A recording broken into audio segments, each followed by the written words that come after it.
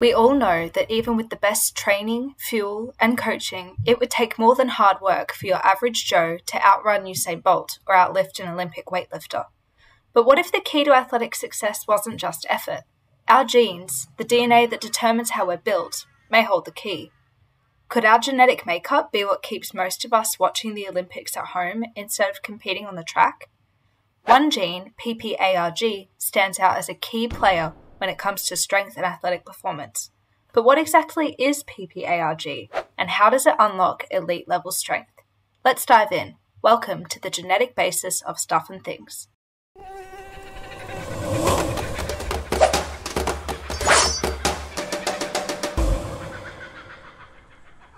Located on chromosome 3, the PPARG gene, or the peroxisome proliferator activated receptor gamma gene, consists of nine exons and generates four PPARG splice variants.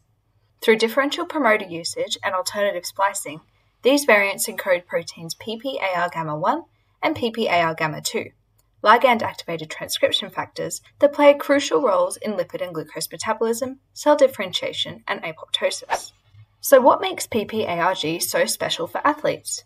To answer this, let's go back to its discovery. Dr. Peter Tontonoz first identified PPAR gamma proteins at Harvard Medical School in 1994.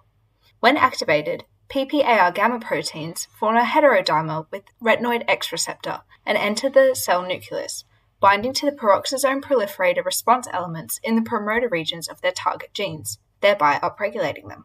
But what do these proteins have to do with sport? It turns out that PPAR gamma 1, expressed in adipose tissue, liver, heart, and skeletal muscle cells, and PPAR gamma 2, found exclusively in the adipose tissue, control genes that are key regulators of fat storage and metabolism. This regulation is critical for athletes as it determines whether energy is stored or mobilized during high intensity activity.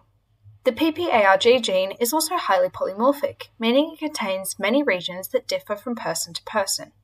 One notable variant is the proline 12 alanine polymorphism, which arises from a cytosine guanine substitution at nucleotide 34 in exon B of the PPARG gene. This single nucleotide polymorphism, or SNP, causes a missense mutation, replacing the 12th amino acid proline with alanine in the resulting PPAR gamma 2 protein. This seemingly small change has significant effects, as it leads to a decreased binding affinity of the protein with its target genes, resulting in reduced gene activation. This decreased activity leads to an increased insulin sensitivity in the liver and skeletal muscles, enhancing glucose metabolism.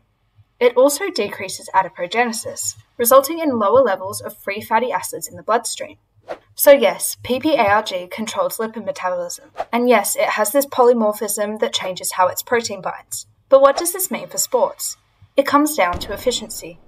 The proline 12 alanine polymorphism shifts muscle cells from burning fats to prioritizing the more readily available glucose. This supports faster energy utilization and gives athletes an explosive advantage that is critical in anaerobic, high intensity sports like sprinting or weightlifting. In 2013, Maciejewska Karlowska and her team took a crucial step in unraveling the relationship between the PPARG gene and athletic ability by investigating the frequency of the proline 12 alanine polymorphism through a genetic association study. The researchers determined the allele frequency of this polymorphism in 660 Polish athletes, divided into four subgroups based on the sport they participated in, and compared this to 684 sedentary controls. Using PCR and a SNP genotype assay, the results revealed that strength athletes had a significantly higher frequency of the 12 alanine allele compared to sedentary controls.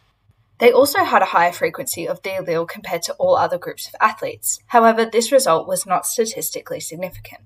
The researchers hypothesized that this PPARG variant may be a relevant genetic factor that favors strength abilities in these athletes due to its effects of improved insulin sensitivity, enhanced glucose utilization in muscles, and a contribution of the polymorphism to a favorable strength to weight ratio. Two previous studies had been conducted by Ahmetov and colleagues five years earlier, which associated the same polymorphism with a hypertrophic effect on muscles and a higher frequency of the ALA allele in athlete versus non athlete populations.